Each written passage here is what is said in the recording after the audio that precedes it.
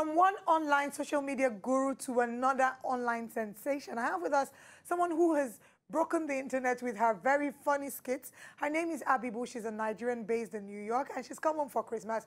And we decided what better way to celebrate the festive season than having Abu with us, Abeeboo here with us in the studio. Good to have you. Thank Welcome. you. Thank you. Thank you. Abeeboo, I'm curious, your name, how did you come about it?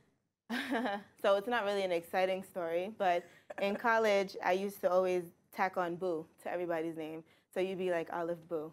So oh. then my oh. friends caught on to that, and they were like Abby Boo, and oh, it just stuck. Oh, nice. Oh, yeah.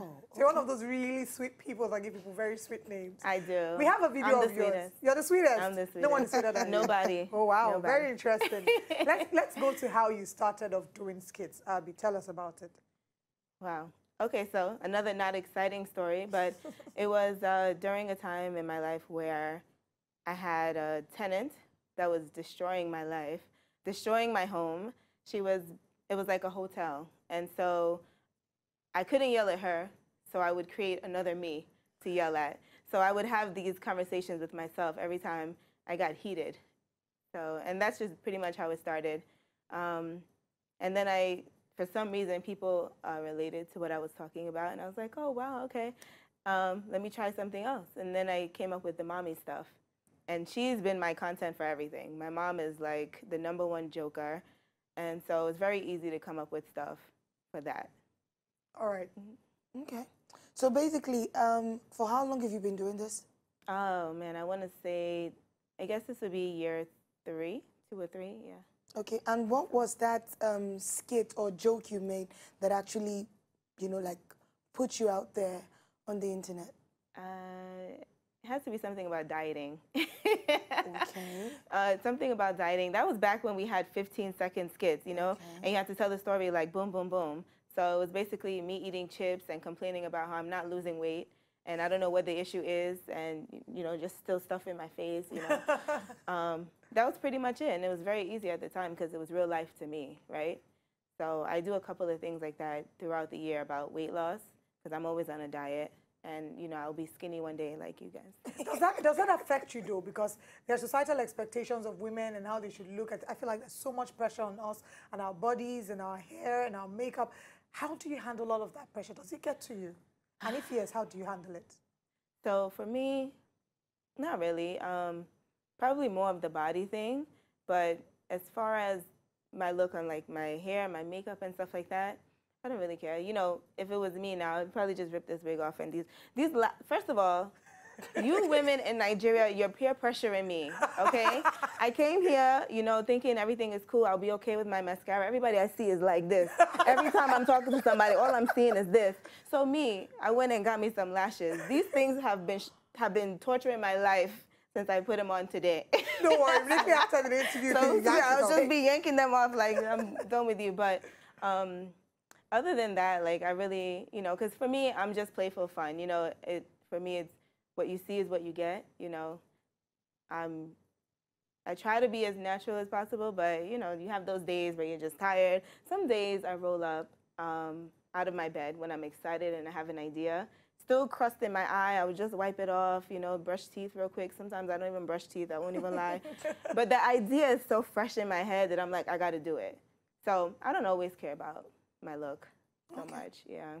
When did when did negative comments come on social media from time to time? How do you does it get to you and how do you deal with it? Savage much. Thank you, because because you know what, I don't I don't go for that um, bullying. You know, I'm here just to have a good time. It's my page, it's my life. I choose to tell my story in my way. So when people have something negative to say about me, I will come back to them. I, I don't really care. you got petty. I am so petty. For a while, I was only doing skits about how petty I am because I need people to understand that I will come back to you. wow. And I won't let it go until I've satisfied myself.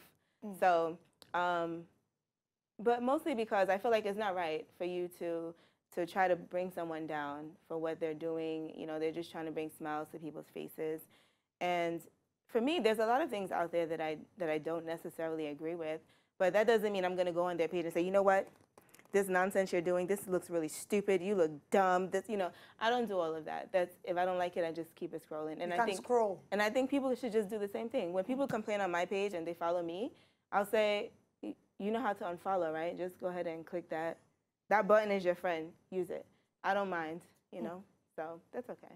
Okay, so still talking about, you know, people making bad comments. There's been this thing about people trolling people. What do you think about it? Like, not just you now, I'm saying on general knowledge. What do you think about it? Because sometimes if you live in the skits you uh, uh, online sensations make is sometimes you telling a story that suits you and not the public. Right. So how do you deal with that?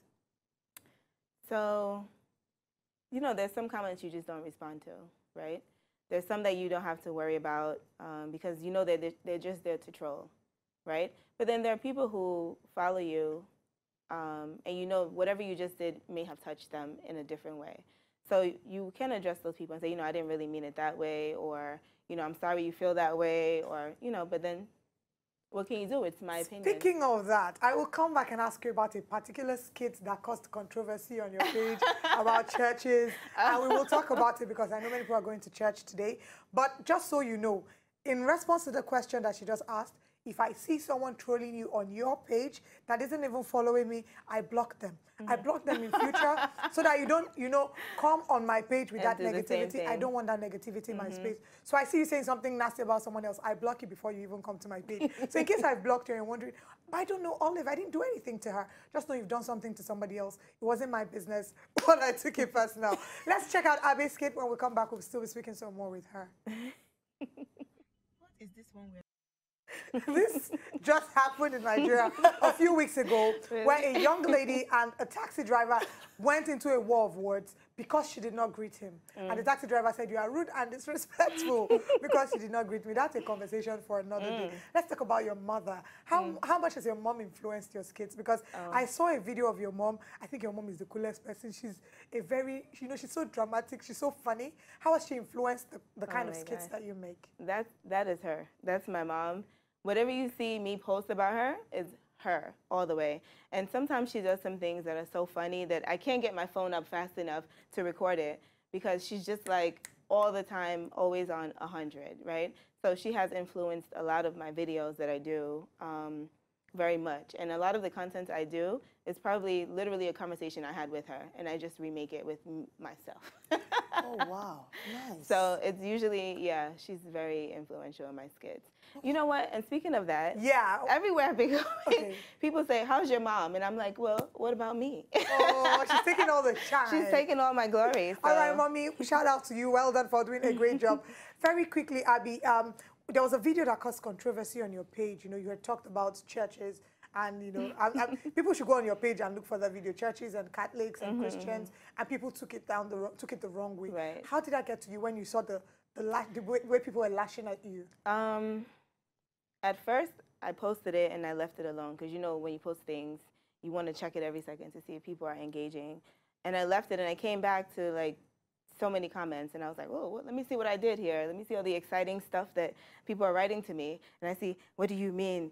Nige- Catholics are not Christians. What do you mean? And I was like, wow, I'm so sorry. I didn't mean it like that. You know, I meant like, you know, from my personal experience going to Catholic churches as opposed to, you know, Baptist or anything else, right? I noticed that that's how they behave. I didn't mean to say that they're not Christian. I meant to say Catholics specifically, those Christians are this way in church. This is how they would feel in this kind of church setting where there's more dance and praise, you know, type of worshiping.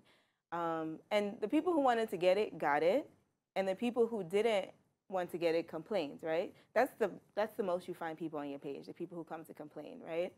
Um, so because I was petty, I reposted that video again with with um, with a different um, Caption. caption, right? Okay. And it said Catholic Christians or something like that, you know, just to specify. I know you're a Christian, I understand all of that, but this is still how you would react in a setting where it's dance and praise. It's the same thing, whether you want to get it or not. So I just wanted to prove that point that the caption really didn't change the story. It's just you wanted to focus on that piece and make it your your bit of misery to talk about, you know. So I guess it just highlights how sensitive being in the public eye is. Mm-hmm. You're careful of every joke, you're careful of everything you say and everything you do. Before we let you go, when you're not doing skits, what are you doing? What is your life in New York like? Um, my life is work. So I work in IT uh, as an operations manager for a very large health system. Um, and I really enjoy it, to be honest. Uh, but right now, my new passion is real estate. So I'll be jumping into that when I get home. Sorry, you said? Real estate. Okay, great. Yeah, girl, I want to buy houses. Hmm, in I want to buy. I want to flip. I want to build. I want to decorate. in New York or in Nigeria? in New York. Are you not I- coming back? I, I will. I will for sure. You know, when light when light is more steady. When light is more when light is more steady. You know what I'm saying? Because this is the only place I could be sitting in a restaurant and people are talking normal. Light go out and they're still talking normal. Light come up and I'm the only one like. What's going on here? okay, a little birdie says to ask you, are you single? Are you married? I know the answer to that question, and I know how you react on social media when you're talking about pressure from your mom. So, answer and how, uh, tell us how you deal with the pressure. I am single to certain people now. I'm joking. Um, I'm pretty single. Okay, so how do you deal with the pressure? Of getting married? Yeah, because you tell me, I, I see your videos of your mom reacting. I stay away. I don't even. My mom knows. Don't even. Don't even go there with me. Oh, really? Um, yeah, I'm so done with that. I'm so over that, and she knows. Um, but anyone else who I know, like say if she's having guests and I come to visit, and I know that's that auntie that would be asking, "Where's your husband? When are you having kids? We are looking for babies. Your wedding, we want to wear asoebi. You know, like those aunties. Those are the ones that I'm running to the room for, and I'll wait until they leave. I don't care what. This is So- our struggle, but thank you so much for joining us. Aunties, mommies, uncles, daddies, please do not pressure us to get married in 2019. we will Please. marry when the husband comes, or you can show us the shop where we can buy a nice looking husband so that we can move On to the, the, website level. where we can download them, actually. Yeah. To enjoy more of these our Ogbonge videos when you just watch, press this button to subscribe on top of our YouTube page. You go love am.